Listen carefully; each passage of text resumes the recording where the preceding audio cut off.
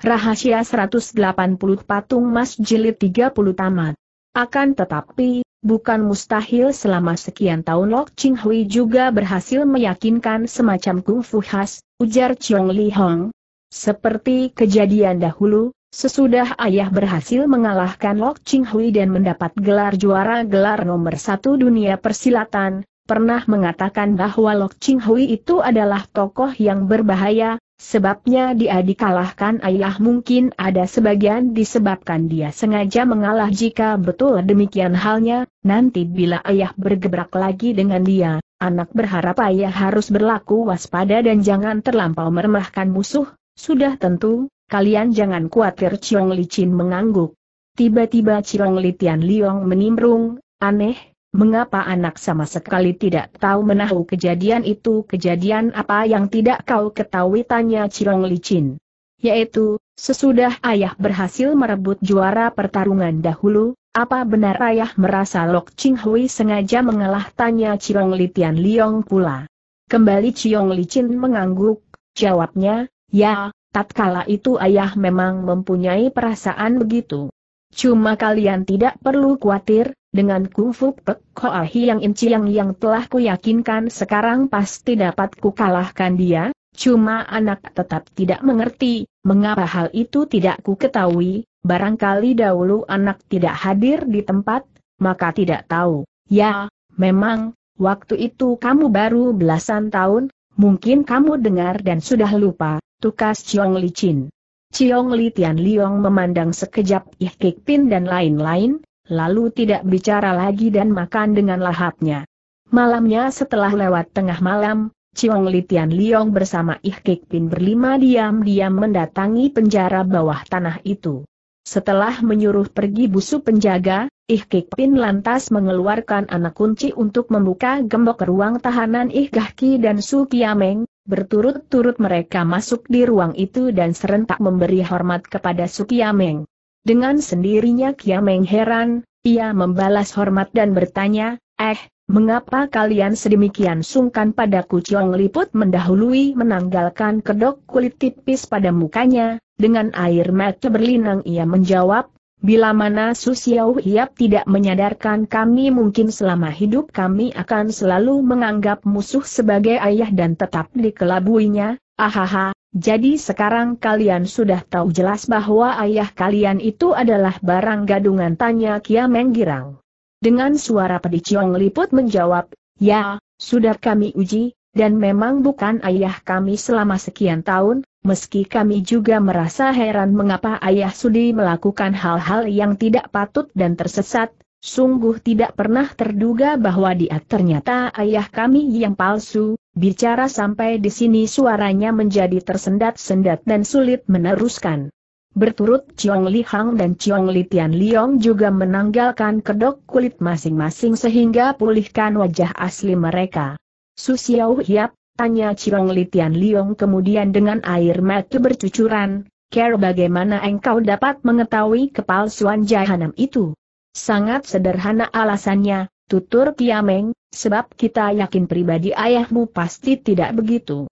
Kita tahu, baik nama baik dan kungfu ayahmu tidak ada bandingannya di dunia ini, sama sekali tidak ada alasan bahwa beliau rela terjerumus sejauh ini, jika begitu, apakah Su Xiao juga tahu siapakah dia sesungguhnya tanya Chiang Li Hong, Apakah Chiong Li Heng tahu bahwa kalian mempunyai seorang paman guru yang bernama Hintian Kisulogin yang tanya Kiameng?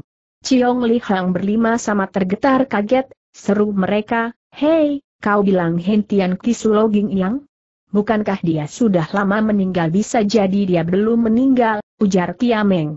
Cuma, hal ini hanya dugaan guruku saja, soal benar atau tidak, aku pun tidak berani memastikan, Segera Chiong Li Tian Liong berkata kepada Chiong Liput, To aku, tidak sabar lagi, biarlah sekarang juga kita membekuk bangsat tua itu. Chiong Liput mengangguk, dengan rasa kikuk ia coba tanya Sukiameng, Sulote, apakah Hengka Sudi kiranya memaafkan segala kesalahan kami? Dengan tertawa Kiameng menjawab, tanpa sengaja kalian tertipu oleh kawanan penjahat sehingga terlanjur berbuat sedikit hal-hal yang berlawanan dengan kebenaran, tapi yang mengalami kesusahan sebenarnya adalah kalian sendiri dan bukan kami, kenapa mesti minta maaf apa segala?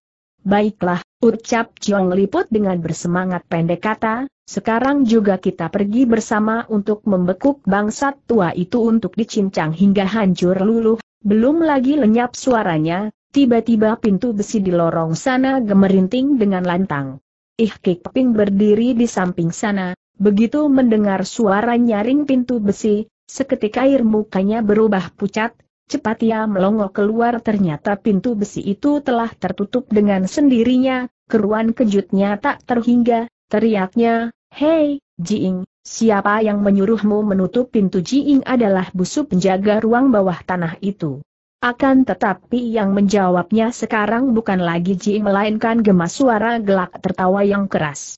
Menyusul lantas terdengar suara Kiamong Chiong Licin lagi menjawab, Aku inilah yang menyuruhnya menutup pintu besi itu seketika air muka Chiong Liput berlima berubah hebat, mereka saling pandang, sampai sekian lama tidak sanggup bersuara.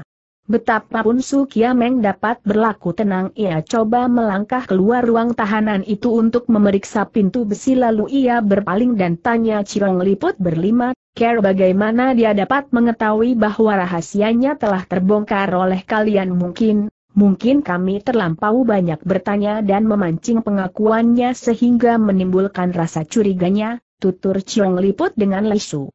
Maka terdengar Ciong Licin di luar itu lagi tertawa dan berkata, hahaha, memang betul, Ciong Liput, justru karena kalian terlampau banyak mengajukan berbagai pertanyaan padaku mengenai masa lampau, dari situlah timbul rasa curigaku, seketika meledak rasa kejut dan murka Ciong Liput, ia menubruk ke pintu besi, seperti kesetanan yang memukul dan menendang pintu itu hingga menimbulkan suara keras, dampratnya kalap, bangsat tua sesungguh kamu ini siapa?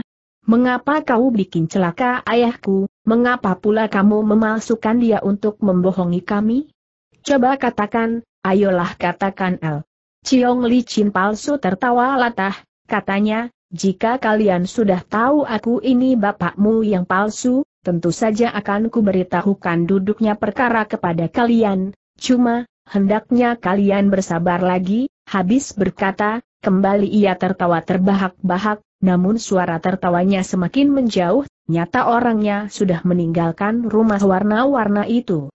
Sukyameng menjadi bingung, ucapnya heran, aneh, mengapa dia pergi malah mungkin dia hendak menggunakan sesuatu care untuk membinasakan kita di ruang bawah tanah ini, ucap Ihkik Pin.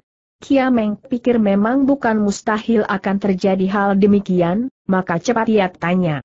Apakah ada jalan tembus lain di ruang bawah tanah ini? Ih Kik Pin menggeleng kepala, tidak ada kecuali membuka pintu besi itu, kalau tidak, betapapun tidak dapat kabur dari sini, Kia Meng berpikir sejenak, katanya pula sambil menunjuk ke ruang tahanan Wi Holojin dan Hoat Keng Taisu, harap Istai Hiap membuka dulu ruang ini dan bebaskan saja Wilo Ciampo dan Hoat Keng Taisu, Habis itu barulah kita berunding lagi care bagaimana meloloskan diri dari kurungan musuh, Ih Kik Pin mengiyakan dan cepat mengeluarkan anak kunci untuk membuka gembok, apa yang diucapkan orang di luar sudah dapat didengar semua oleh Wi Holojin dan Hoat Keng Taisu, maka begitu keluar dari ruang tahanan, mereka pun tidak banyak bertanya lagi. Apakah pintu besi itu sulit dibuka tanya Wi Holojin? Betul, jawab Ih Kik Pin. Tebal pintu itu lebih tiga dim, tombol buka tutup terletak di bagian luar, dari dalam sulit dibuka, bagaimana dengan tenaga gabungan kita bersembilan tanya Wei Holojin. Mungkin tidak berguna, tutur Ih Kik Pin dengan menyengir pintu besi ini sangat kukuh dan kuat luar biasa, untuk membukanya hanya ada satu jalan, yaitu dengan menggunakan dinamit, Wei Holojin coba mendekati pintu itu, katanya, Marilah kita coba-coba dulu segera mereka menaiki undak-undakan batu, dengan berjubel-jubel bersembilan orang sama menahan daun pintu sekali teriak, serentak mereka mengerahkan tenaga untuk mendorong sekuatnya. Akan tetapi pintu besi itu memang kukuh luar biasa, jangankan terbuka, bergeming pun tidak.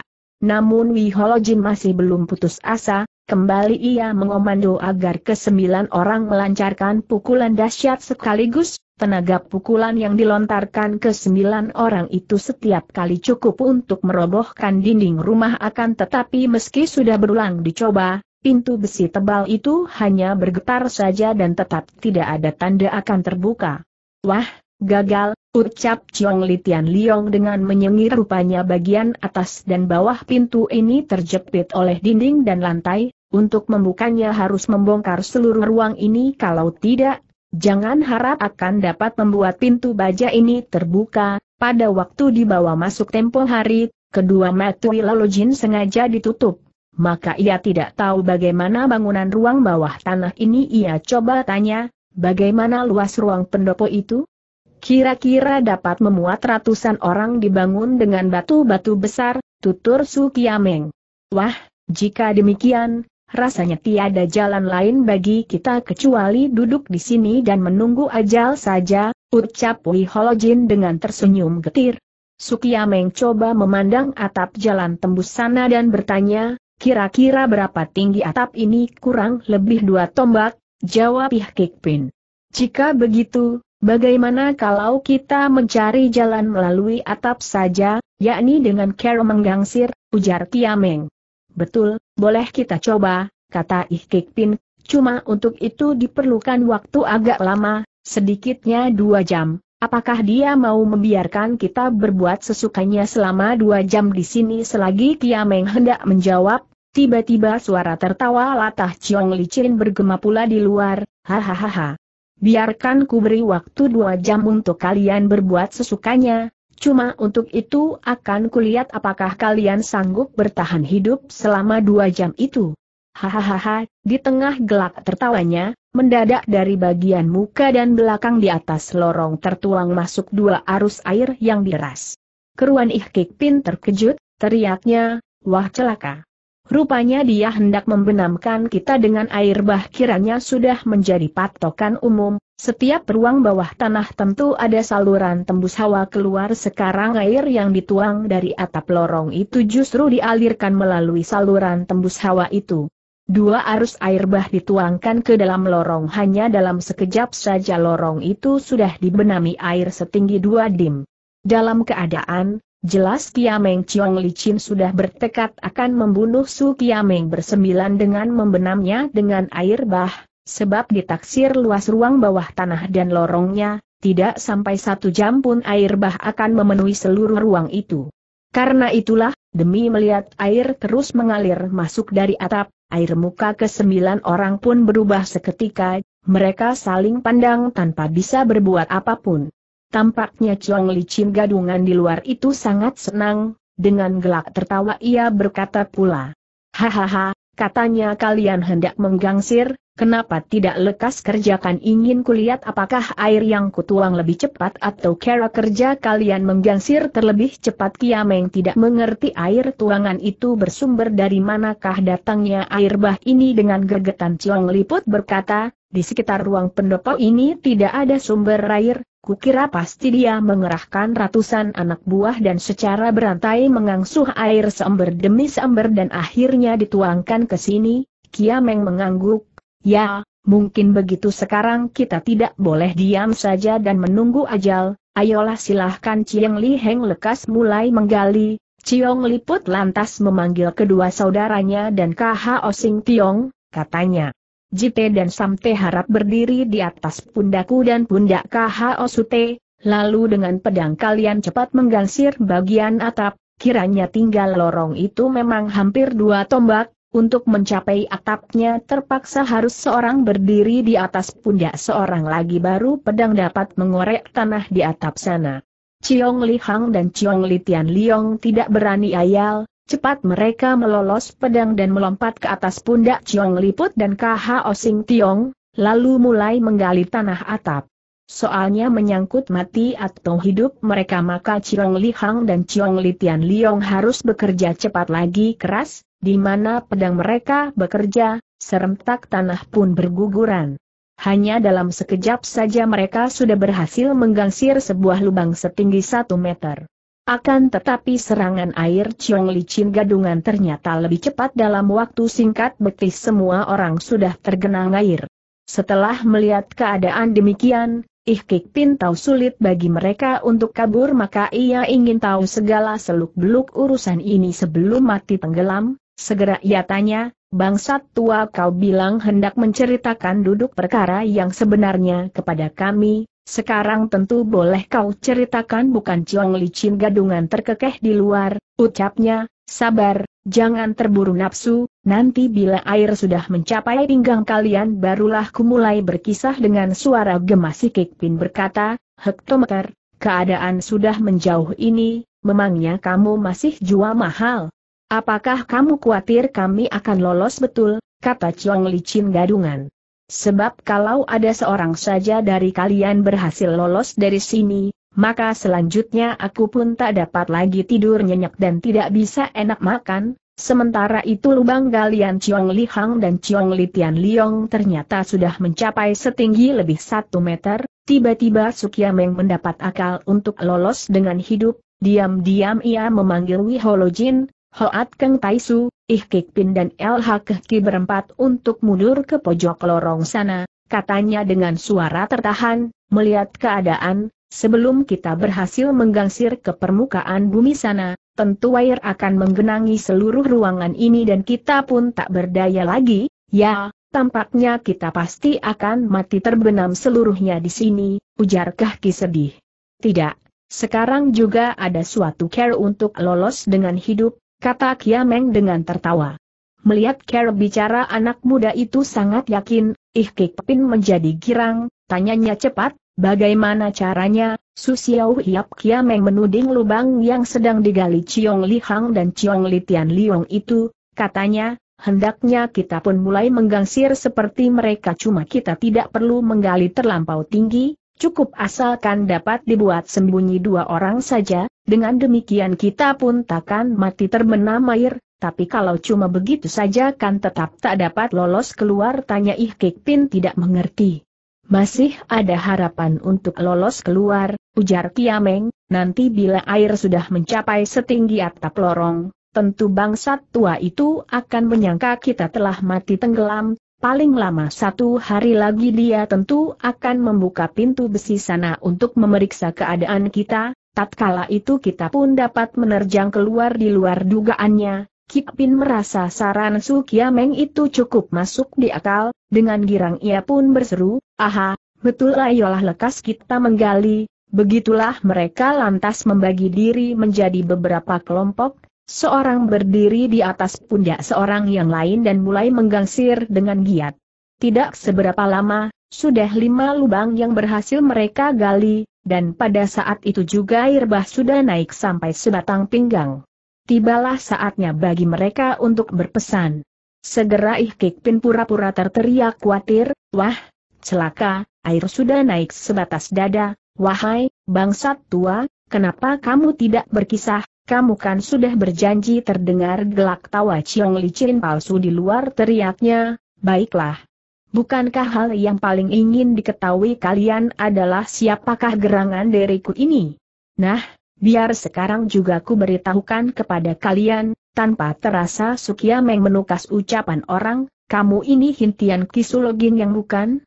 Haha, mengapa kamu menduga aku ini Hintian Kisulogin yang tanya Ciong Licin palsu? Memangnya bukan Jengetiameng? Kembali Ciong Licin gadungan terkekeh, katanya, bukan, Aku ini tak lain tak bukan adalah Butek Sintian In Gioksan, atau dengan perkataan lain, aku inilah ayah Enang Bi pengakuan ini bukan cuma membuat Sukyameng melenggong, bahkan kedelapan orang lain juga ikut tercengang, semuanya melongo bingung hingga sekian lama dan tidak sanggup bersuara bahwa tokoh maha jahat yang memasukkan Kiamong Chiong Licin untuk membunuh ke-18 tokoh dunia persilatan dahulu itu ternyata bukan Hentian Kisuloging yang sebagai mereka duga melainkan adalah satu salah di antara ke-18 tokoh utama tadi, yaitu Butek Sintian In Gioksan adanya. Mungkinkah hal ini? Memangnya siapa mau percaya bahwa dia benar Butek Sintian In Gioksan? Sampai sekian lama Sukyameng melongo bingung, Akhirnya ia pun meraung gusar dan mendamperat, omong kosong jika benar kamu ini butek Sian Pian In Gioksan, mengapa berulang kali kamu bermaksud membunuh putrimu sendiri hei, hal itu disebabkan titik. Andi itu bukankah putri kandungku, Tau Gioksan mendengus hambar. Oh ha, In Angdi bukanlah putri kandungmu Kiameng menegas dengan melenggong. Betul, jawab Chiong Licin gadungan alias Butek Sin Pian In Giok San dia adalah anak haram yang dilahirkan dari hubungan gelap istriku yang jalang itu dengan seorang ksatria munafik, kesatria munafik. Siapa dia tanya Kiameng semakin tidak mengerti. Siapa lagi dia kalau bukan Chiong Licin sendiri jengek Butek Sin Pian In Giok San. Sekali ini bergilir bagi Ciong Liput, Giong Li Hang dan Ciong Li Tian Liong yang meraung murka karena merasa ayah mereka dicerca, berbareng mereka berteriak, kentut busuk. Dasar bangsat keparat, sudah mencelakai ayah kami kau nista secara kotor hehe, terserah kalian mau bilang apa, jengek butek Sin Pian In Giok dengan terkekeh. Ku paham, setiap anak memang selalu menganggap ayah sendiri pasti orang baik, Mana ada anak yang percaya ayah sendiri dapat melakukan hal-hal yang kotor dan rendah. Aku tidak menyalahkan kalian. Cuma hendaknya kalian pun tahu, ayah bukan juga manusia biasa, setiap manusia biasa tidak mutlak pasti manusia baik-baik, kemong kosong. Ngaco belo teriak Ciong Liput murka. Sudah lama ayahmu yang jahanam itu telah kubunuh sekarang kalian selekasnya pun akan mampus, untuk apa aku omong kosong kata Ingiok San setelah merandek sejenak, lalu ia mendengus pula, hektometer, sekarang sengaja hendak ku ceritakan duduk perkara yang sebenarnya kepada kalian, soal kalian mau percaya atau tidak bukan urusanku, yang jelas apa yang ku katakan ini bukanlah dusta, dan ini sudah cukup bagiku, Peristiwa itu berawal pada 19 tahun yang lalu, tatkala mana ayahmu belum lagi memperoleh gelar jago nomor satu. Dia dan anggota keluarga kalian tinggal di kaki Gunung Hoasan, jadi bertetangga denganku. Suatu hari, untuk suatu keperluan aku harus mengadakan perjalanan keliling Kang Ou, waktu pulang lagi ke Hoasan pada suatu dini hari, ketika hampir sampai di rumah, Mendadak kulihat ada seorang lelaki keluar dari rumahku hanya sekejap saja sudah menghilang di balik kabut subuh. Tentu saja timbul rasa heran dan curigaku, kuputuskan tidak segera pulang ke rumah melainkan bersembunyi di tengah gunung, malamnya diam-diam ku pulang ke rumah dan sembunyi di sekitar rumahku untuk mengintai. Benar juga, tidak lama kemudian kulihat orang lelaki itu muncul lagi, Ternyata dia bukan lain daripada ayah kalian, Kiamong Chiong Licin. Omong kosong. Mana mungkin ayah melakukan hal semacam itu teriak Chiong Litian Liong bertiga saudara. Hehe, malahan waktu itu aku sendiri pun tidak percaya akan kejadian itu akan tetapi apa pun juga fakta nyata terpampang di depan mataku dan kusaksikan sendiri langsung. Masih juga timbul kesangsianku kalau-kalau ada orang menyamar sebagai Ciong Licin, maka dengan sabar ku tunggu lagi sampai pagi, ku saksikan dia keluar dari rumahku. Diam-diam aku membuntuti dia, akhirnya dapat ku ketahui dengan jelas, ternyata tidak salah lagi, dia memang benar Ciong Licin adanya, hehe, Waktu itu kalian pun sudah berumur belasan tahun tentunya kalian masih ingat anggota keluargaku di rumahku selain perempuan hina itu hanya terdapat seorang babu tua dan tiada orang ketiga lagi. Sebab itulah apa yang dilakukan ayahmu dengan mendatangi rumahku pada malam hari kukira cukup gamblang dan tidak perlu dijelaskan lagi. Waktu itu sungguh ingin ku perlihatkan diri untuk melabrak dia, akan tetapi setelah kupikir lagi, akhirnya aku harus bersabar dan menahan tekanan batin, sebab ku tahu diriku bukanlah tandingannya jika aku sembarangan bertindak, akibatnya aku pasti akan terbunuh olehnya, terpaksa aku harus berlagak tidak tahu sesuatu, namun secara diam-diam ku rancang tipu daya untuk menuntut balas. Tahun berikutnya, lahirlah Angbi. Dihitung dari waktunya, Jelas pada waktu perempuan hina itu mulai hamil aku memang tidak berada di rumah, maka dapat dibuktikan bahwa Angdi memang bukan darah daging keturunanku. Akan tetapi Angdi tetap ku pandang sebagai putri kandungku, sampai dia tidak disusui lagi barulah ku cari alasan untuk mengenyahkan si babu tua, lalu ku bikin perempuan hina itu sakit parah dan akhirnya binasa. Kemudian ku bawa Angdi meninggalkan pegunungan Hoasan, dua tiga tahun selanjutnya, dengan giat dan tekun kulatih ilmu pedang dengan harapan dalam pertemuan besar para ksatria dunia persilatan dapat kubunuh jahanam itu di depan umum. Akan tetapi yang kuhadapi lebih dulu justru adalah Tek Pisin Kun Pau Tian Gun dan aku telah dikalahkan olehnya sehingga sama sekali tidak sempat bergebrak dengan Chiong Licin, malahan dari hasil pertandingan itu dia keluar sebagai nomor satu, harapanku ternyata hampa belaka. Kebetulan pada waktu itu Ketua Xiao Limpai mengusulkan dibentuknya kelompok diskusi ilmu pedang, tanpa pikir aku menyatakan setuju dan ikut menjadi anggota. Sejak itu, di samping mempelajari ilmu pedang bersama ke-17 tokoh yang lain, diam-diam aku pun tekun meyakinkan semacam kungfu berbisa yang sudah lama putus turunan di dunia persilatan, yaitu Pek Hoa Hiang Hun Chiang. Dalam sekejap saja rasanya 10 tahun ilmu pedang ke-18 jago kelompok kami memang banyak memperoleh kemajuan. Namun tetap ku sadari bukan tandingannya, syukurlah akhirnya Pek Hoa Hiang Hun Chiang yang ku yakinkan juga sudah jadi, maka timbul suatu muslihatku, yakni dengan jalan menyamar sebagai dia untuk membunuh ke-18 tokoh utama dunia persilatan akan kujadikan dia musuh bersama dunia persilatan.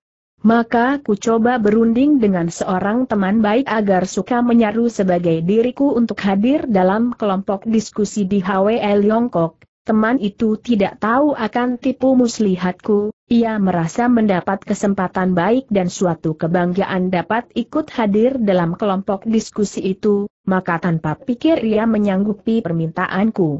Selanjutnya aku lantas menyamar sebagai Chiong Licin dan menuju ke HWL Yongkok dengan membawa 18 butir pil racun ke 18 biji pil racun itu adalah racikan dari berpuluh jenis racun yang paling jahat, bila sudah diminumkan pasti sukar tertolong lagi, aku pura-pura mengatakan pil racun itu adalah obat kuat, ku katakan kepada ke-18 tokoh di Yongkok bahwa aku merasa ajalku sudah dekat, Aku terharu oleh kegiatan mereka yang tekun meyakinkan ilmu pedang, maka dengan ikhlasku sumbangkan obat kuat ramuanku itu untuk menambah tenaga dalam mereka.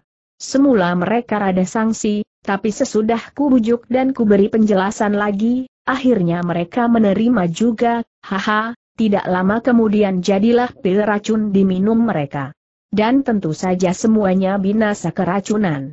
Namun suatu hal yang sama sekali tidak kuduga adalah pada hari itu ternyata Ang Bi juga pergi ke HWL Yongkok, sehingga peristiwa itu dapat dilihat olehnya, bahkan karena terlampau kaget ya jadi sakit ingatan, akan tetapi yang lebih di luar dugaanku adalah hadirnya seorang lagi, yaitu Kiamong Chiong Licin.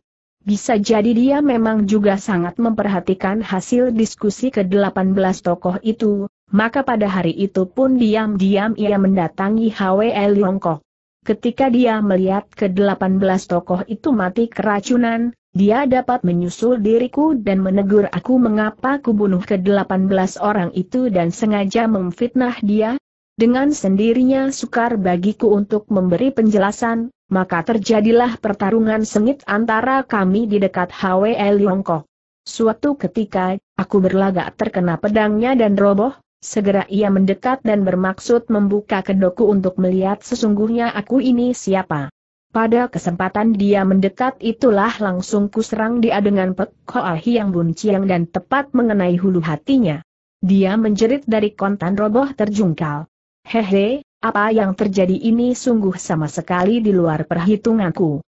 Jika tahu, ilmu pukulanku itu mampu membinasakan dia, Tentu aku tidak perlu repot mengatur tipu muslihat dengan membunuh ke-18 tokoh untuk memfitnah dia lagi. Cuma, meskipun dapat membunuh dia, rasa dendamku tetap belum lenyap, sebab itulah sengaja ku rusak wajahnya supaya tidak ku kenali ku ambil keputusan akan menyamar sebagai Tiamong Chiong Licin. Dengan berbuat demikian sudah tentu ada alasanku, yakni betapapun orang persilatan tidak boleh tahu bahwa sesungguhnya Butek Sintian In Giok San masih hidup di dunia ini.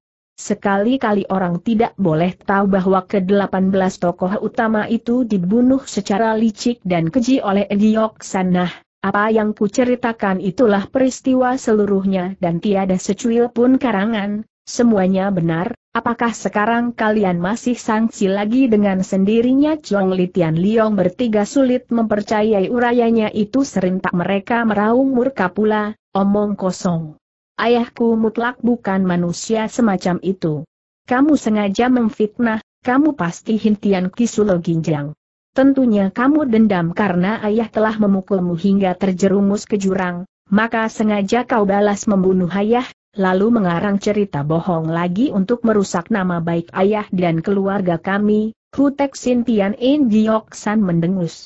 Hektometer, mau percaya atau tidak boleh terserah padamu, yang jelas itulah kejadian yang sebenarnya, jika benar ceritamu, jadi pada hakikatnya Angbi tidak tahu kamu ini ayahnya, lalu mengapa kemudian kamu senantiasa hendak mencelakai dia pula? Tanya Kiameng. Kan sudah kukatakan tadi, dia bukanlah darah dagingku, bukan putri kandungku, karena itulah sedikit pun tidak ada perasaan kasih sayangku padanya. Dengan sendirinya, alasan yang paling utama adalah karena dahulu dia menyaksikan sendiri terbunuhnya ke-18 tokoh utama itu olehku bahkan juga tahu Kiamong Chiong Licin telah kubunuh.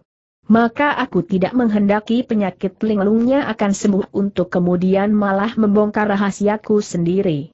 Hanya saja, tatkala kalian membawanya menemui aku, dari gerak-gerik dan tutur kata kalian sudah kurasakan bahwa kalian sama sekali tidak tahu Kiamong Chiong Licin yang kalian hadapi bukanlah palsu, lantaran itulah seterusnya aku pun tidak berniat membunuhnya lagi, namun tempo hari pada waktu kami terkurung oleh kebakaran di Pek Hosan Cheng, mengapakah suruh Kiu Chilian Hoa Chiang Ohling untuk menolong kami? tanya Kiameng. Kulakukan hal tersebut karena ku khawatir kalian tidak percaya Cirong Licin telah dibunuh oleh budaknya sendiri. Pula kebakaran itu pun belum pasti dapat membinasakan kalian, maka demi membuat kalian percaya bahwa diriku ini orang baik, sengaja ku suruh Hohling menyelamatkan kalian dari kobaran api, kamu sengaja membunuh ke-18 tokoh utama itu, tujuanmu adalah untuk memfitnah Kiamong Chiong Licin, Kemudian kamu juga membunuh dia sendiri dan menyamar dia untuk melakukan kejahatan dengan begitu sengaja kau bikin busuk nama Kiamong Chiong Licin. Lalu sekarang mengapa kamu malah pura-pura mati untuk membersihkan tuduhan orang terhadap Chiong Licin soalnya semula aku ingin tetap menyamar sebagai dia hingga akhir hayat, akan tetapi kalian sudah keburu mencurigai diriku sebagai pembunuh ke L7 tokoh utama, terpaksa aku harus meninggalkan samaranku sebagai Kiamong Chiong Licin, jawabin Giok San sementara itu genangan air bah sudah mencapai sebatas dada, Kiameng menaksir sudah tiba saatnya untuk bersandiwara mati tenggelam, maka ia mulai berlagak meronta sehingga menerbitkan gemercik air dan berteriak, LN Giok San, sesungguhnya antara kita sama sekali tidak ada permusuhan apa pun. Mengapa kamu sengaja membenamkan kami mendengar beberapa orang itu mulai kebuakan oleh genangan air bah? In Giok San sangat senang, dengan tertawa latah ia menjawab meski antara kita tidak ada permusuhan akan tetapi sesungguhnya kita adalah seteru yang tidak dapat hidup berdampingan, jika kalian tidak mati, care bagaimana selanjutnya aku dapat hidup tentram? Hahaha, Kiameng tidak bicara lagi, dengan berlagak menepuk air sehingga menimbulkan suara debur air yang riuh, orang lain juga menirukan care dia memukul air. Pada kenyataannya waktu itu air memang sudah pasang sampai bagian leher, orang yang berperawakan agak pendek pasti akan mati tenggelam bila tidak dapat berenang. Karena tidak mendengar lagi Su Kiameng dengan tertawa In Giok San bertanya, eh, Bagaimana Su Kiameng kalian sudah mampus atau belum Kiameng tetap tidak menjawab, ia merasa akan lebih leluasa berbuat sesuatu bila pihak lawan menyangka pihak sendiri sudah mati, sebab tatkala air bah naik pasang hingga atap lorong biarpun untuk sementara mereka dapat sembunyi, di lubang galian mereka sehingga tidak sampai mati tenggelam, akan tetapi bila pihak lawan tidak segera membuka pintu untuk membuang air bah, akhirnya mereka tetap akan mati sesak napas di lubang galian yang tidak tembus hawa itu. Karena belum juga mendengar suara jawaban Su Kiameng, dengan tertawa Butek Sintian In Gioksan berkata pula, haha, jika sekarang kalian tidak niat bicara, sebentar lagi ingin bicara pun tidak sempat pula. Apa yang dikatakan memang tidak salah, tidak lama kemudian, air bah sudah naik pasang dan mencapai atap lorong. Oh oh no oh, oh subuh sudah hampir tiba. Terdengar suara mencicit kawanan tikus yang riuh bergema dari almari pakaian di kamar yang terletak di taman bunga itu. Suara tikus itu adalah kode yang sudah dijanjikan antara Li Hun Nio dan Su Kiameng, dengan sendirinya Boh Tu Siang Jin juga tahu tanda isyarat itu. Akan tetapi ketika ia terjaga bangun atau suara tikus yang riuh itu, ia tetap menaruh curiga sebab Li Hun Nio baru enam hari meninggalkan pulau itu, mana mungkin datang kembali dengan membawa Lok Ching Hui dan lain-lain dalam waktu secepat itu. Ia pikir jangan-jangan suara mencicit itu memang suara tikus tulen. Ternyata suara riuh mencicit itu makin lama makin ramai, Boh Tu Siang Jin tidak berani ayal, Cepat ia turun dari tempat tidur untuk membuka almari, ia putar tombol dalam almari, terdengar suara keriat-keriut, lalu sebuah pintu rahasia terbuka, yang menongol dulu adalah sebuah kepala manusia, itulah kepala Kiam Holok Ching Hui. Kedua pihak sama tidak kenal, namun kedua pihak sama-sama dapat menerka siapa pihak lain.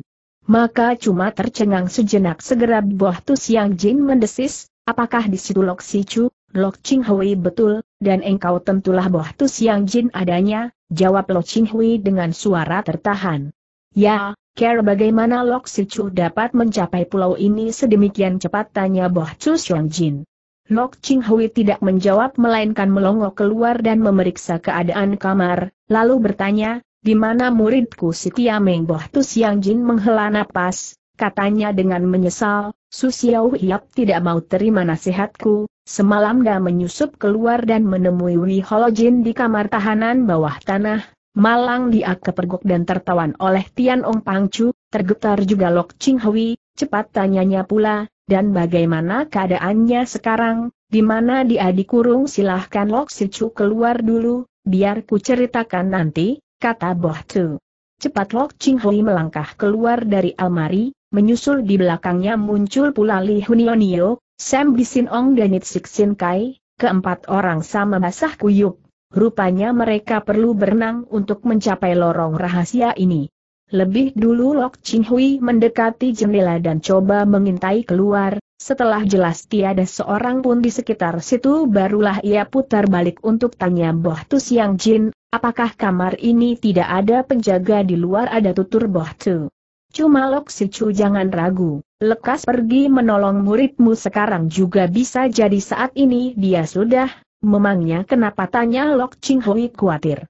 Semalam seorang pengantar makanan memberitahukan padaku bahwa Tian Ong Pang Chu telah mengerahkan beratus anak buahnya untuk mengangsuh air untuk menggenangi kamar tahanan bawah tanah, maksudnya hendak membenamkan muridmu dan kawan-kawannya supaya mati kelelap, tergetar hati Lok Ching Hui, Cepat ia berseru, baik, silahkan Siang Jin sembunyi saja di lorong rahasia sana, sekarang juga ku pergi menyelamatkan Kiameng, habis bicara segera ia membuka pintu kamar dan menerjang keluar secepat terbang. Menyusuli Hun Nio Sam Bisin Ong dan Itsik Sin Kai juga menerjang keluar, mereka sama sekali tidak pakai todeng aling-aling, maka begitu muncul di taman segera mereka dipergoki oleh ketiga busu yang menjaga di situ. Hei, siapa itu? Berhenti bentak ketiga penjaga. Sambil membentak ketiga busu itu pun memburu datang dan menghadang di depan Lok Ching Hui berempat. Akan tetapi setelah mendekat dan melihat jelas siapa yang dihadapi mereka, seketika wajah mereka berubah pucat, serupa tikus ketemu kucing, tubuh mereka sama gemetar, takut dan lunglai. Dengan sendirinya Lok Ching Hui dan rombongannya tidak sungkan-sungkan lagi, segera Iksik Sin Kai dan Sam Bisin Ong melompat maju, dengan cepat tangan mereka bekerja, tanpa perlawanan ketiga busu itu tertutup roboh tanpa berkutik. Segera Lin Hun Nio Nio dan Lok Ching Hui mendahului lari ke depan, langsung mereka menuju ke ruang pendopo dan hanya sekejap saja sudah sampai di lapangan depan pendopo. Terlihat di situ ada dua barisan anak buah Tian Ong Pang sedang mengasuh air sumur dan secara berantai dikirim ke pojok dinding pendopo sebelah sana, air lalu dituang ke pipa hawa yang menembus ke ruang bawah tanah. Lok Ching Hui berhenti di situ, ia berkata pelahan terhadap Li Hun Nio Nio, ternyata betul mereka sedang menuangkan air ke kamar tahanan, apakah Leng Tocu tahu di mana letak pintu masuk ke ruang tahanan itu? Li Hun Nio Nio menjawab, tahu, yaitu terletak di dalam sebuah kamar warna merah yang terletak di belakang pendopo, apakah Lok Tai Hiap melihat keparat Tian Ong Pang Chu itu di tengah kedua barisan itu seperti tiada seorang pun yang berpotongan sebagai tokoh Pang Chu, jawab Lok Ching Hui. Jika begitu, tentu Tian Ong Pang Chu dan anak muridnya berjaga di rumah warna merah itu, ujar Li Hun Nio Nio. Jika kita ingin menolong rombongan muridmu, kecuali menerjang masuk ke rumah warna merah itu untuk membuka kerangkeng besi, jalan lain kukira tidak ada. Cuma kita hanya berjumlah empat orang serbuan kita begitu saja pasti akan kepergok, jika tidak ada pilihan lain, biarlah kita terjang dan labrak mereka sekuatnya, tukas Lok Ching Hui.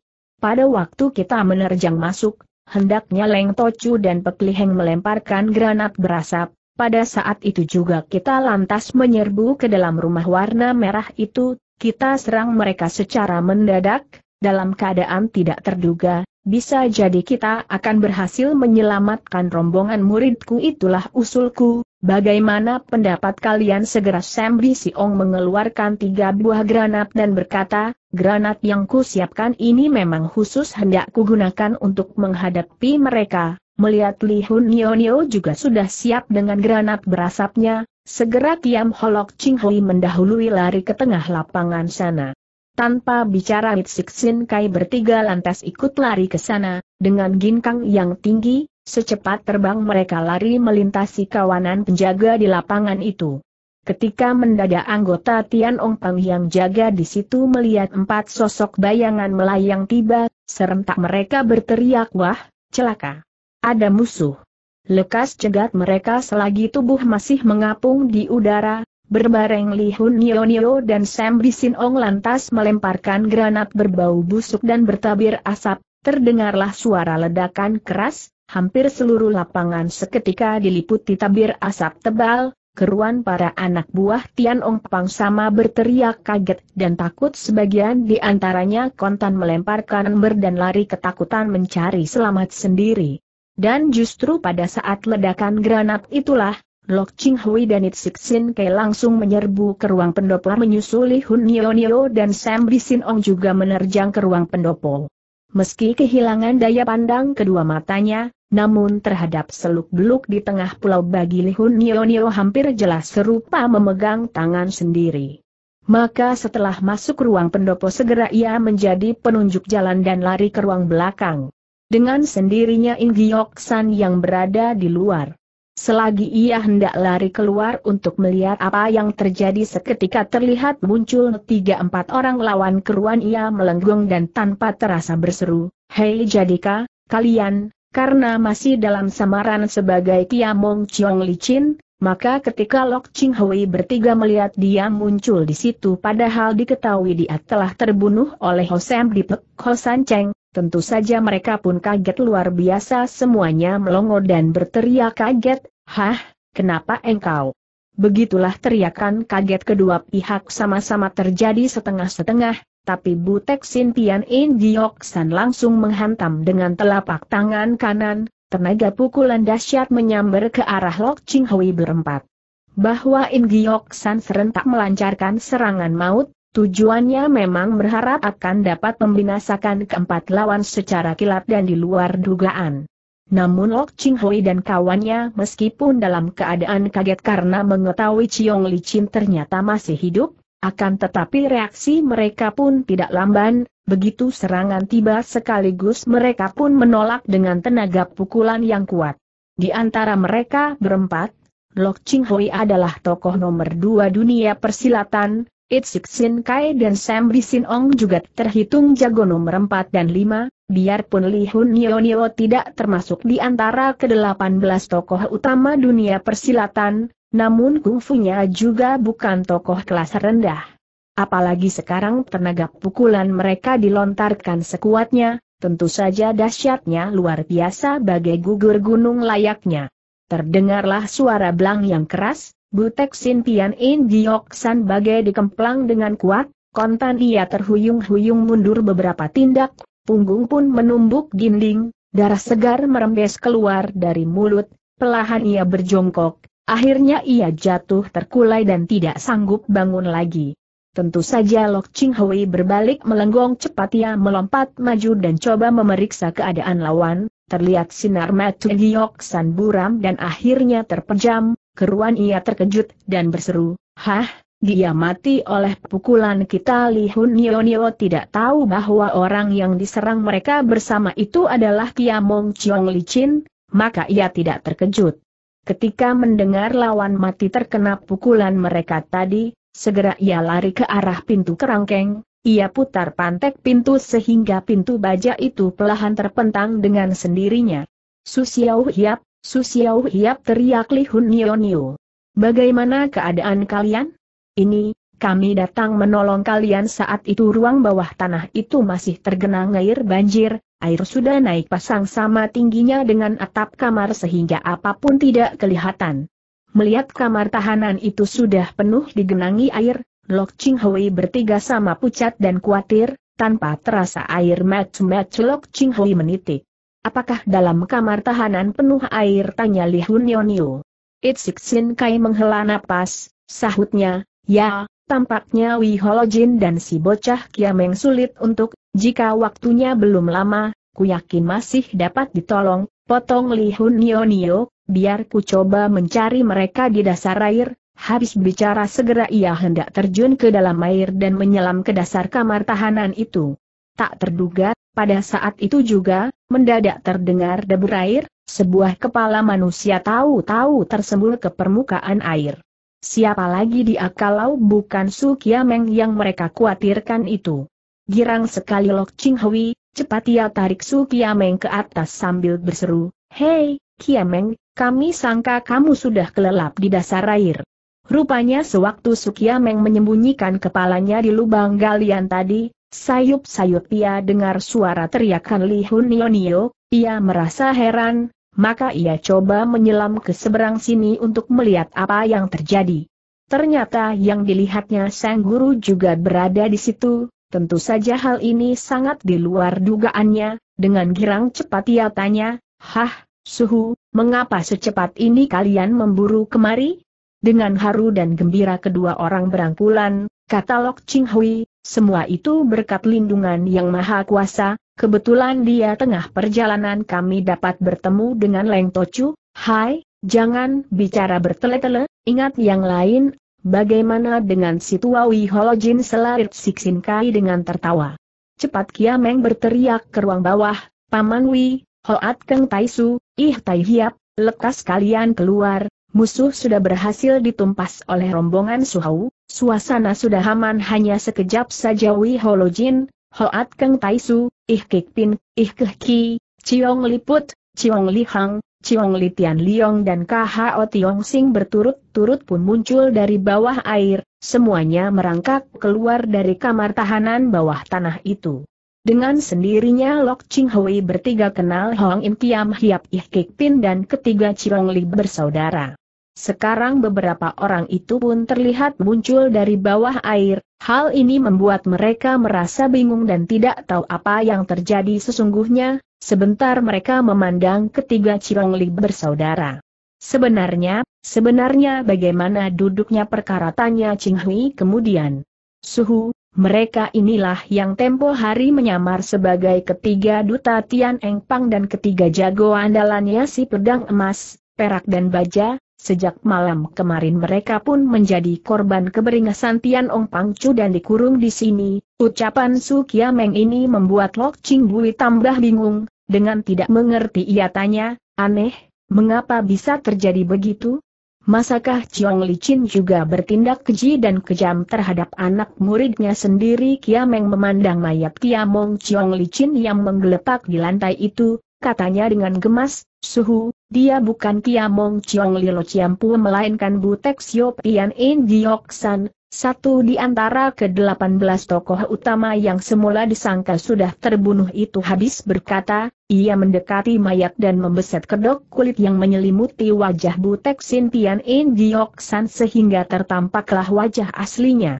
Dan ternyata benar, manusia yang mengacau tokoh misterius yang ditakuti dan membentuk Tian Ong Pang di wilayah Tionggoan dan bermaksud menyikat semua aliran persilatan itu segera dapat dikenali oleh Lok Ching Hui dan lain-lain sebagai satu di antara ke-18 tokoh besar dahulu, yaitu Giok San, si rujung sakti tanpa tandingan. Bagi Wiholojin dan rombongannya tentu tidak terlampau heran dan terkejut karena tadi sudah mendengar sendiri pengakuan In Giok San sebaliknya rombongan Lok Ching Hui sama melonjak kaget dan sama berseru mengenai tokoh misterius itu yang ternyata Butek Sin Piao adanya. Anak Eng, mengapa bisa dia? Sungguh aku tidak habis mengerti ucap Chin Hui. Ya, ceritanya sungguh cukup panjang, jawab Kiameng dengan mengulum senyum. Suasana kemelut sudah mereda, keadaan sunyi cahaya Seng Surya memancar dengan teriknya di tengah lohor. Dua buah sampan itu, yang sebuah berpenumpang Hang Hun Kiam Kek Ih Kik Pin bersama Ciong Liput, Ciong Li Hang, Ciong Li Tian Liong, Ih Kah Ki dan KH Osing Tiong berenam. Sampan yang lain memuat. Kiam Holok Ching Hui, Boh Tu Siang Jin, It Sik Sin Kai, Sam Bisin Ong, Wi Holo Jin dan Su Kiameng berenam. Kedua sampan meluncur sejajar menuju ke arah timur. Kedua belas orang tua dan muda itu tampak dalam saja, tidak ada yang bersuara. Meski bencana yang timbul sudah berlalu, namun duka nestapa yang menimpa ketiga Li bersuara dan guncangan perasaan bagi Lok Ching Hui dan rombongannya sukar untuk lenyap begitu saja dalam waktu singkat. Di antara mereka itu, hanya Sam Bisin Ong saja yang mempunyai perasaan yang tidak sama dengan orang lain, rupanya betapapun dia tidak dapat melupakan ke 180 patung emas yang baru saja dilihatnya di Lihun Tu tadi, yaitu ke 180 patung emas yang berasal dari kota emas yang misterius itu. Akan tetapi Kiam Holok Ching Hui dan Itsik Sin Kai secara tegas telah menyatakan ke 180 patung emas itu seluruhnya disumbangkan kepada Li Hun Nionio, yaitu untuk deni penampungan bagi ribuan wanita invalid yang usahakan oleh Li Hun Nionio yang tunanitra tapi berhati sosial itu. Sudah tentu keputusan Lok Ching Hui dan Itsik Sin Kai itu membuatnya mendongkol, padahal sejak mula sebabnya dia ikut berlomba mati-matian untuk mendapatkan patung emas, tujuannya jelas untuk kepentingan sendiri, untuk memperkaya sendiri, sekarang ternyata andilnya itu harus ikut terbuang begitu saja. Namun apa pun dia tidak berani menyatakan tidak setuju, sebab ia cukup kenal watak Kiam Holok Ching Hui dan Itsik Singkai, untuk membatalkan dan main kekerasan jelas dia tidak berani, tiada jalan lain terpaksa ia harus menyesali diri sendiri. Tiba-tiba Sukyameng menghela napas dan bertanya kepada Lok Ching Hui, Suhu, setelah semua persoalan sudah selesai, lalu care bagaimana kita harus memberi penjelasan kepada Ang Bi dengan tenang? Lok Ching Hui menjawab, apa boleh buat, tiada jalan lain terpaksa kita bicara terus terang padanya, kita bilang Tian Ong Pang Chu sudah kita bunuh dan Tian Ong Pang sudah kita tumpas dan kita juga memberitahukan bahwa Tian Ong Pang Chu itu tak lain tak bukan adalah samaran ayahnya Kia Meng menegas. Wah, tentang ini. Tidak, terpaksa kita beritahukan padanya bahwa sesungguhnya Tian Ong Pang Chu itu bernama Bu Kibin berjuluk Tok Leong Sin Kun, Sinaga berbisa Mahasakti, kata Lok Ching Hui. Lantas siapakah Tok Leong Sin Kun Buki bintanya Kiameng dengan bingung. Tidak ada orang bernama Buki Bin dan berjuluk Tok Leong Sin Kun segala, hanya karangan belaka, ucap Chin Hui. Oh, maksud suhu hanya untuk membohongi dia saja, tegasnya apa yang terjadi ini takkan diberitahukan padanya tanya Kiameng. Ya, sahut Lok Ching Hui dengan sorot mata bersinar habis, dengan alasan apa dan care bagaimana akan kau beri penjelasan padanya? pada akhirnya kan cuma akan mendatangkan penderitaan baginya bila dia tahu duduk perkara yang sebenarnya mau tak mau Kiameng manggut-manggut dan menyetujui gagasan sang guru itu, ucapnya, ya, betul, memang itulah jalan yang terbaik semua orang tidak bicara lagi, sampai sekian lama, akhirnya Kiameng berkata, pula, dan sekarang hanya tersisa suatu urusan saja, bila mana Tecu sudah dapat menemukan mereka, maka Tecu pun dapat beristirahat dengan tenang. Lok Ching Hui tersenyum, ucapnya, Oh, apakah kau maksudmu hendak menemukan Suhengmu dan istrinya si Kalanak Yameng mengangguk? Ya, betapapun Tecu berkewajiban mencari dan menemukan kembali mereka kamu tidak perlu repot lagi, ujar Kiam Holok Ching Hui dengan tertawa. Saat ini mereka berkumpul di suatu hotel di kota Hanyang, diam-diam ada anggota Kaipang kelas tinggi bertugas menjaga keselamatan mereka, aha, bagus sekali seru Kiameng gembira. Jadi Suhu sudah menemukan mereka? Mengapa tidak Suhu ceritakan sebelum ini Lok Ching Hui tertawa, ya sudah kutemukan mereka. Hari itu, setelah ku datang di Hanyang, Lalu ku datangi rumah hiburan Goat Hiang Ih untuk mencari seorang perempuan penghibur di situ, namanya So Kiao. Kiao, dari dia aku peroleh keterangan bahwa setelah belasan hari kau berangkat si gendak lo bulai telong yang bernama Song Jiu Kiok itu benar saja kelihatan pulang ke Goat Hiang Ih. Dan ternyata benar juga Song Jiu Kiok itu didalangi telong, dia telah mengurung Suhengmu dan Kalana di rumah seorang sanak familinya di kampung, oleh karena sehabis itu dia lantas ditinggal pergi oleh Telong dan sejauh itu lelaki itu tidak pulang Sojiu Kiok menjadi bingung dan kebuakan sendiri. Di samping dia harus menjaga kedua tawanan, di lain pihak dia tidak memperoleh sumber penghasilan, tentu saja ia tidak tahan, akhirnya terpaksa ia kembali lagi ke Goat Hiangih dan melakukan pula profesinya yang semula, yaitu menerima tamu dengan care halus yakni dengan memberi hadiah uang, di samping sikap keras, yaitu ku ancam dia dengan kekerasan akhirnya ku minta dia membawaku ke desa dan berhasil kutemukan Suhengmu dan istrinya, Sukiameng bersorak gembira oleh keterangan itu, aha, bagus. Syukurlah Suheng dan Suso telah ditemukan dengan selamat, dapatlah kita merayakannya sebagai pesta keluarga bahagia eh nanti dulu tiba-tiba Sam Ong menyela itu saja belum, justru yang sedang kunantikan adalah ingin hadir pada pesta bahagia perkawinanmu. Muka Kiameng menjadi merah, jawabnya dengan menyengir, ahaha, Lo Ciampo jangan bergurau, belum secepat itu, pacaran saja belum titik. Hai, tua bangka, kamu ingin hadir pada pesta nikah bocah itu dengan siapa? Tanya Ritsik Sin Kai kepada Sam Bisin Ong. Moncong Sam Bisin Ong merot ke arah Ih Kahki yang duduk di atas sampan yang lain dan menjawab, siapakah lagi? Kalau bukan budak itu tentu saja Ritsik Sin Kai menjadi kelabakan, cengkeram lengan Lok Ching Hui dan berteriak, Hei, Loh Heng, tentu kau tahu sudah tidak janji yang telah kuberikan kepada kalian guru dan murid, memangnya kau kira untuk aku berbuat susah payah begitu hahaha Lok Ching Hui tergelak, sabar dulu, jangan gelisah.